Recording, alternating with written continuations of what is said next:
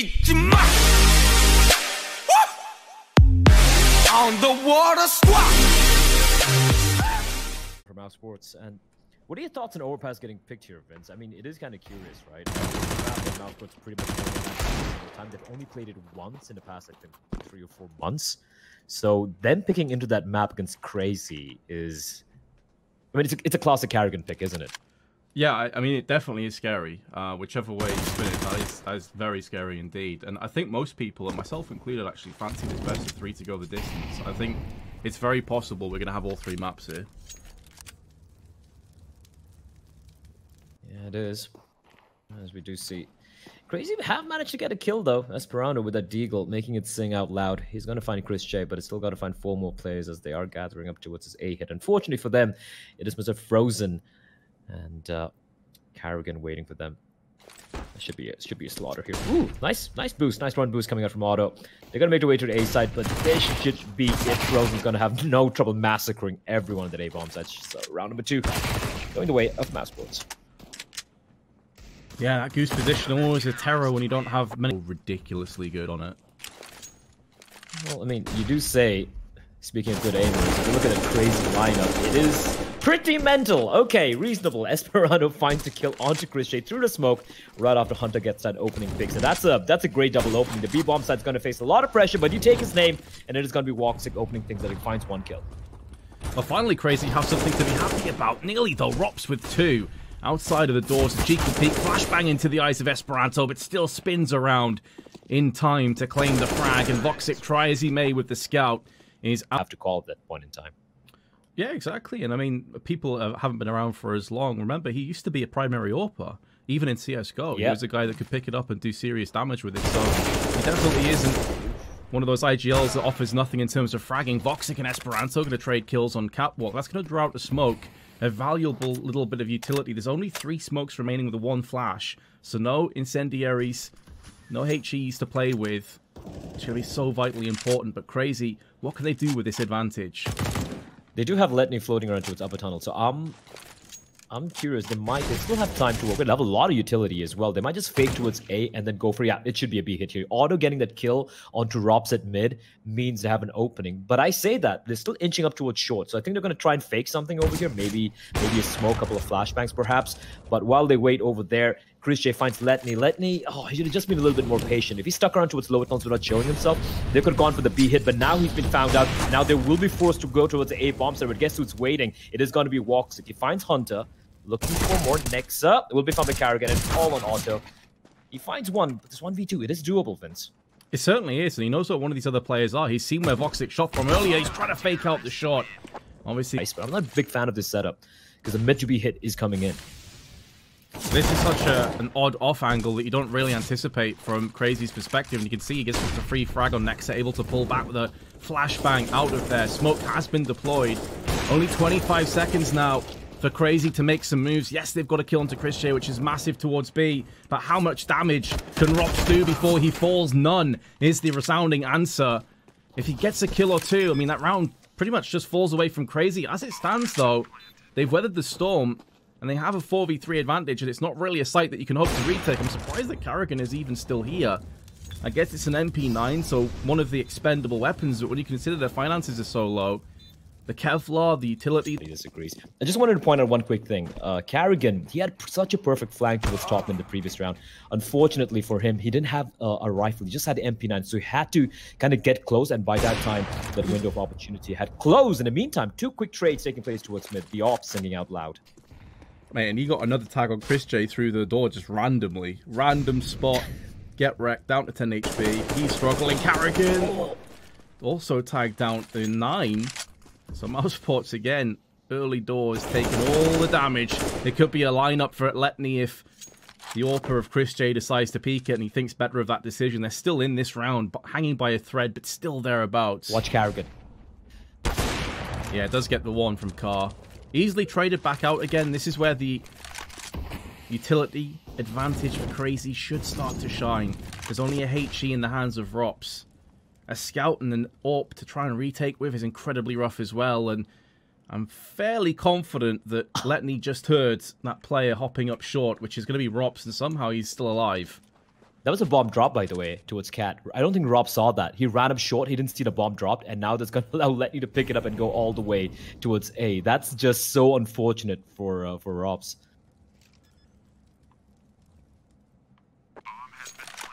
It sure is. In terms of a, a bomb being planted and conceding that from Mousesport's perspective, there's no real hope of them clutching this. They have no kits.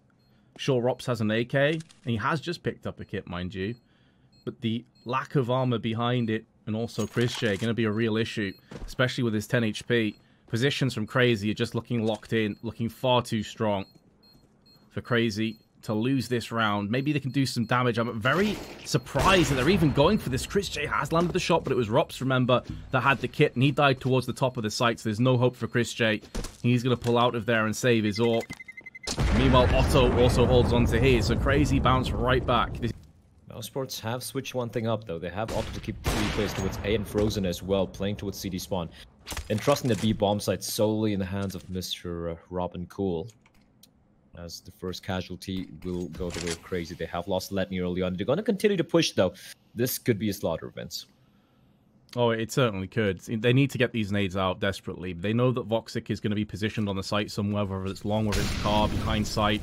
Now they're going to find out there's a slight gap in the smoke, but they haven't finished it off. That had to be a kill.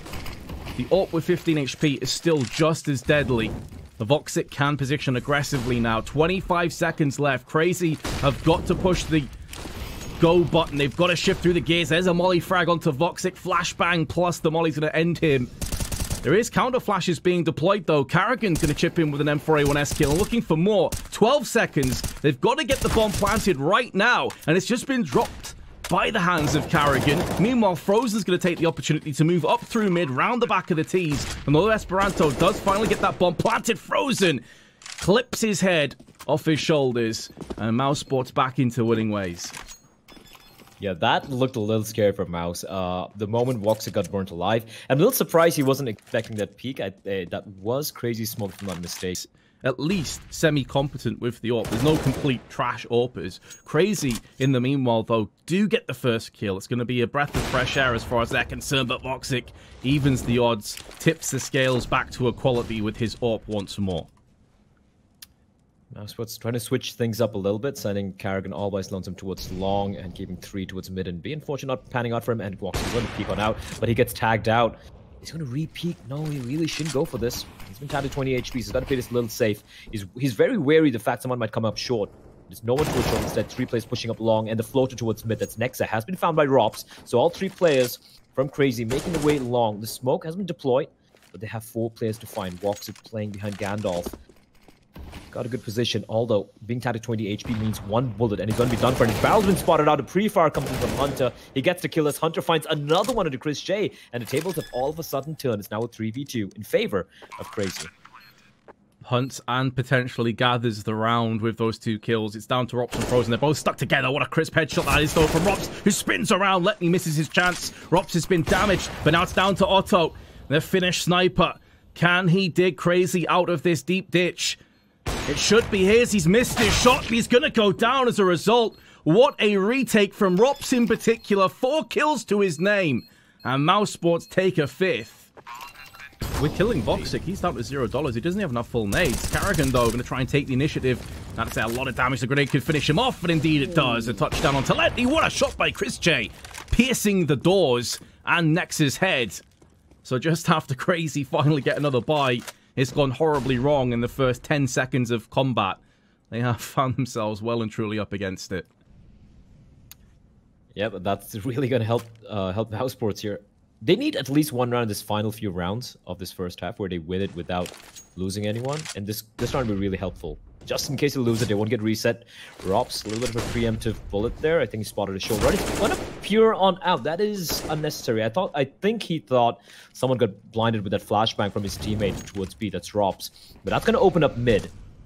Unfortunately for Crazy, they still have only three players left alive, and there's no one towards tunnels. But Esperanto doesn't care. He's going to push on in. Now doesn't know where the other player is. Oh no, Rops! I think the scroll button just got pressed and he jumps in air when he had to take the fight. And that is, oh, you hate to see that. You hate to see that. Especially Blair, as I feel like that heavily goes off the back of Frozen's unnecessary peak. Like, sure, even if you think someone's flashbanging mid, I get that. But you're 5-3 in the lead in terms of manpower. You don't have to make risky plays. You don't have to gamble. The round is going to go your way if you just play it smart and steady. That is a, a, very odd play indeed, and it's cost them dearly. Take nothing away from Esperanto. Three beautiful entry frags. Played it perfectly, but that does feel like it was a little bit gift-wrapped from Mouse. Though the chances are highly unlikely, and that's what gave the Vice that particular 1v3. And it goes to say, when you have the advantage, just try to minimize whatever chances your opponents have of getting a kill or winning the round. And that's what Frozen did. He really didn't have to go for that peak. Yeah, especially at that time, because I think there was also like a minute left on the clock. So it wasn't if, as if you were quickly trying to rotate towards the B site because it was about to get hit hard. So, But either way, that's in the past. They're going to have to dust that away. Woxic with the one kill. But that's all it seems like the CT's going to get. But actually, hold the phone. Frozen with the AUG. He has other ideas. He's going to try and keep mousesports in this round. Two quick-fire kills. HP favoring Crazy. Plus, it's going to be a post-plant momentarily. And there's the peak. That could seal the deal. Crazy. Eyeing up best teams of the world. I don't think so. Um, I agree. Maybe it's time to, to try and delve into some youth and, and build them up. But that being said, in the second half, it is going to start Crazy's way. The second pistol will be such a massive boost to their economy, to their round score. Woxic, though, going to try and capitalize onto a blind Nexa. And that does open up some long control now for the T's. Otto was thinking about peeking, but he's going to wait for the rest of his team to arrive. They're going to take the elevator up onto A site and relocate. They're not sure about short, though. No one's actually over on this side, so it is going to spread them out a little bit thinly. And now mousesports look to try and pull the trigger. Bit of Esperanto was quite damn good early in that first spot to play towards Car, but he's going to get mowed down. Karrigan, in, in, in, fact, leading the charge. And one by one, they fall. Woxic joins the party as well. Now Hunter waiting near elevator, trying to spot ahead here.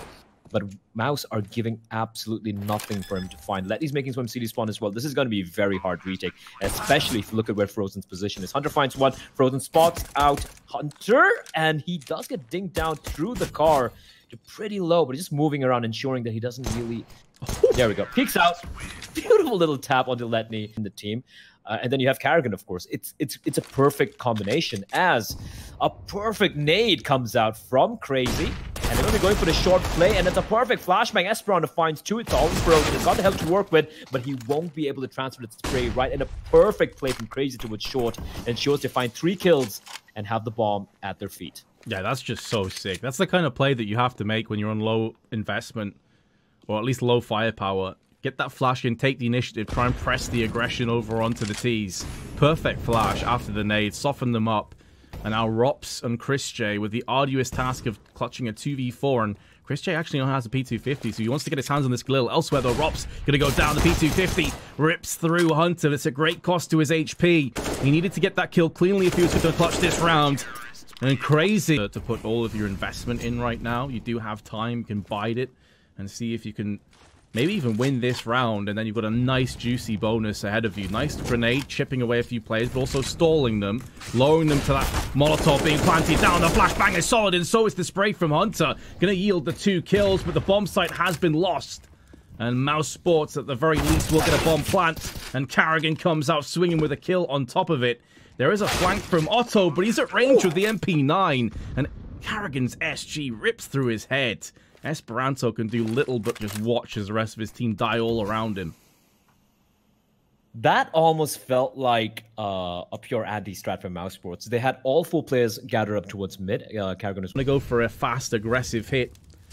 They have the opportunity to do so. Molotov is going to force Chris J out, and he gets squeezed into an up frag from Otto once again. Crazy get the first kill.